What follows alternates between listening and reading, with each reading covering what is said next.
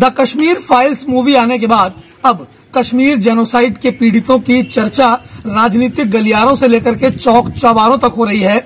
लेकिन क्या जो उस समय के पीड़ित थे, जो अपने ज़मीन, अपने घर को छोड़ करके आए थे, उन लोगों से आकर के किसी ने बात की? क्या उनसे जानना चाहा कि वो लोग असल में चाहते क्या हैं?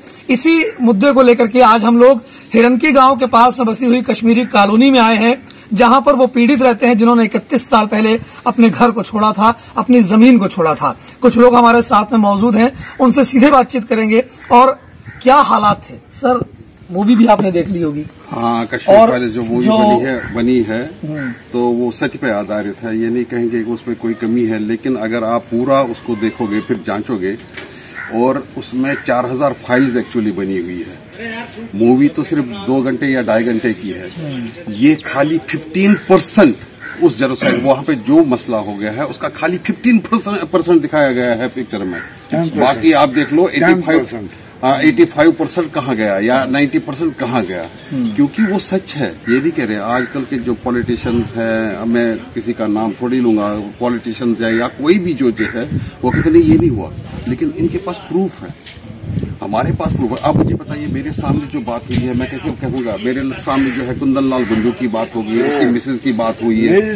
ठीक है? तो वहाँ से हम जब भाग गए तो भागने के बाद जो है पीछे खबर आती थी उसको मार दिया। कुंदन लाल गज्जू जो पूरे हिंदुस्तान में नहीं अब पूरे वर्ल्ड में घुमा हुआ प्रोफेसर कुंदन लाल जो एक रिसर्चर था। तो जब मैंने उसे कहा एक दिन कि चलो जी हम भी भाग जाते हैं यहाँ से। कहा आप भागो मैं भी भागूँगा। क्योंकि मैंने दुनिया देखी है अब मैंने क्या करना है बात के और तो उसके साथ उसके साथ जो हुआ ठीक है या उसकी मिसेज के साथ हुआ क्या वो झूठ है? आज तक पता नहीं कि उसको क्या किया। वो अभी भी ये भी पता नहीं है। ठीक है? या कोई और जो है एग्जांपल ले लीजिए किसी जो जिसको चावल के ड्रम में घुसेड़ दिया और वहाँ से गोलियों से मार दिया गया और खून से लथपथ वो चावल के दाने जो है उसकी मिसेज को खिला दिया गया। क्या ये झूठ है? उसके प्रत्यक्ष जो हम कहेंगे अभी विटनेसेस हैं वो क्या झूठ बोलेंगे?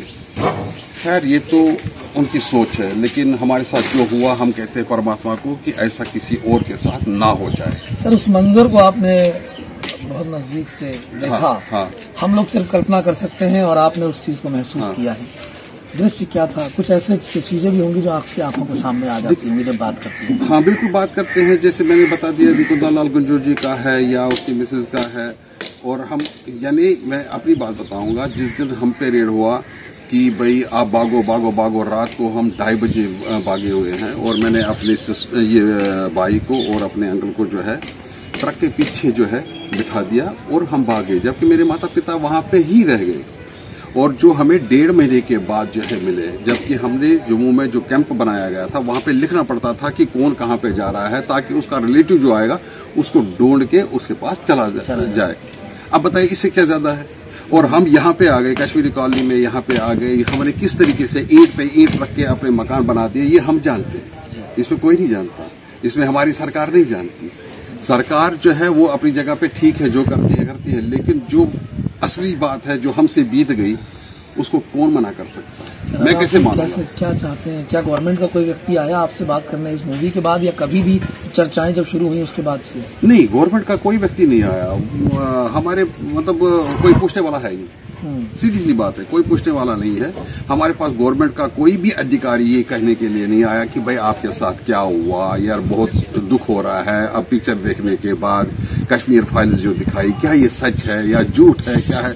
हमारे पास अभी तक अभी जो टाइम है अभी तक कोई नहीं कोई भी नहीं कोई नहीं। सर आप ने सब कुछ देखा अभी आप बता भी रहे थे। क्या वाक्य था और उसके बाद से अब तक कोई आया आपसे मिलने? क्या चाहते हैं आप लोग?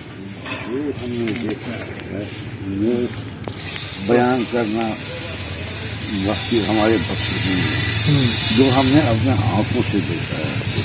मैं आप अपना देख बताऊँगा कि मैं ड्यूटी जा रहा था। ड्यूटी जाने से जब मैं जा रहा था तो मेरे साथ मेरे साथ में जो मेरे साथी थे उन्होंने इस वक्त उस दिन जुमा का रो- दिन था शुक्रवार का दिन था तो उन्होंने बोला कि भाई दो एक बजे डेढ़ बजे ये हाफ़ टाइम होता था। तो उन्होंने बोला आज छुट्टी कर देंगे और इनको हमें नमाज़ पढ़ने जाना है। मैंने कहा अच्छा आप जब नमाज़ पढ़ने जाओ मैं भी आपके साथ यहाँ ही स्कूल में ही रहूँगा। दिमाग में सोचा कि कुछ कुछ ना कुछ गड़बड़ ज़रूर है। पार्क थी एक पार्क में पाँच छह बंदे बैठे थे। और उन्होंने मेरे को मेरे ऊपर देखा। तो जब उन्होंने देखा तो उन्होंने निशाना किया कि ये हिंदू आ गया ये नहीं टीका ओके। और वालों ने बोला आ जाओ आ जाओ। फिर उन्होंने बोला आप बीच में बैठ बैठो हमारे बीच में बैठो। बीच में बैठकर उन्होंने मुझे थाने तक ले लिया।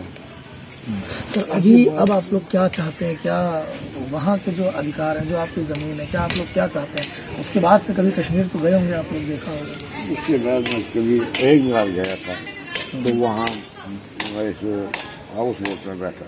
हम्म, क्योंकि वहाँ मेरे को वहाँ कर्फ्यू था मुझे आगे जाने से रोक दिया। फिर दो रात में ले कर गया था इसलिए कि मैं कुछ थोड़ा सा सामान मैंने उस वक्त बिल्कुल भी सामान कुछ नहीं लाया था बच्चों के लिए या अपने लिए या सोने के लिए बैठने के लिए। वहाँ से आने के बाद मैं यहाँ आ गया। यहाँ जब मैं आ गया तो यहाँ एक कमरा था बना हुआ बनाया हुआ था उसमें सिर्फ़ चार दीवार दीवार और कुछ भी नहीं था। और कुछ नहीं था। तो पूरे पूरे घर को यहाँ तक कि अपने ज़रूरी सामान को भी छोड़ करके अपने परिवार को किस तरीके से बचा करके कश्मीर से निकले और लगातार दिक्कतों को झेल करके किसी तरीके से अपने परिवार को स्टैंड किया है। कहना यही है कि जब से वो लोग यहाँ पर आए हैं, किसी ने भी उनकी सुध नहीं ली, सरकारी कोई महकमे की तरफ़ से यहाँ पर नहीं आया। सर आप लोग भी तो दोबारा गए होंगे कश्मीर देखा होगा। नहीं आज क्या लगा? नहीं नहीं मैं वापस कभी नहीं गया। कभी वापस नहीं? कभी नहीं गया। मैंने जिस दिन जो है ज- अ, कश्मीर छोड़ दिया हम्म। मार्च में उसके बाद मैं वापस ज़िंदगी में कभी गया ही नहीं। मन नहीं किया कभी बानहल टनल जो है पार कभी नहीं की अच्छा। हिम्मत नहीं हुई या मन नहीं हुआ क्या नहीं मन नहीं हुआ। हिम्मत की बात तो अलग चीज़ है। हम्म। मन नहीं हुआ। हम्म, अब आप लोग क्या चाहते हैं? हिम्मत भी हाँ हम चाहते है। हैं कि अभी भी हम क्योंकि अभी भी मैं चाहता हूँ और है भी। भाईचारे से रहे और हमें वहाँ से बहुत सारे मुस्लिम लोग जो है इन्वाइट भी कर रहे हैं। लेकिन सबसे बड़ी प्रॉब्लम यह है कि उनको ब्रेन वॉश करने वाले जो है उनको जगह तो दें। बाकी हमें किसी मुसलमान के साथ कोई पर्सनल ग्रज नहीं है। पर्सनल ग्रज जिसके साथ है बस वही है। यानी अगर हम देखेंगे कि मैं पहले भी कह चुका हूँ कि 80 20 80 परसेंट जो लोग जो है वो हमारे साथ है। 20 परसेंट ही नहीं है। 20 परसेंट का मतलब क्या हुआ? जो बाहर से बॉर्डर पार करके आगे उनको ब्रेन वॉश कर दिया कि भाई हम यहाँ पे जो क्या चाहते हैं आज़ादी ये कश्मीरी पंडितों को निकाल दो कश्मीरी औरतों को यहाँ पे रख दो। उसके तीन वर्ड दिए थे उन्होंने। या तो मिंगल अप हो जाओ या तो यहाँ पे हमारे साथ शादी कर लो या तो यहाँ से भाग जाओ और मरो। लेकिन लेडीज़ फोक जो है वो हमारे साथ ही रहेंगे हम उनके साथ शादी करेंगे। तो आप मुझे बताओ क्या करोगे उस टाइम पे आप? आप यही कहोगे कि हमने जाना है भाई? We want to remain here we want except this thing कि भाई हाँ, चलो ठीक है हम मिंगल अप हो जाएँगे या कुछ हो जाएँगे। लेकिन आप ये देख लीजिए वो कुछ परसेंट थे।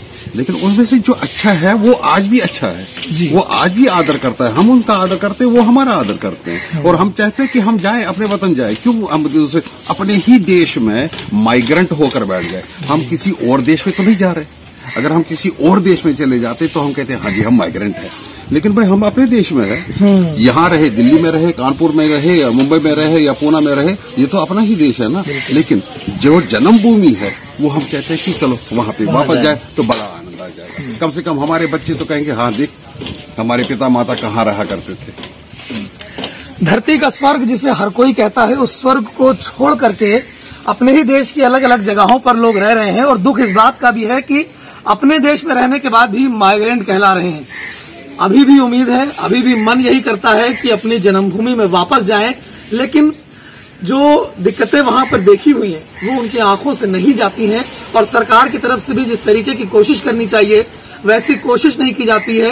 कहना यही है कि उनका मन है कि उनका अधिकार, उनकी ज़मीन, उनका घर उनको वापस मिले, लेकिन फ़िलहाल ये कब तक होगा, ये देखने वाली बात होगी। हर्षित मिश्रा ईटीवी भारत, दिल्ली।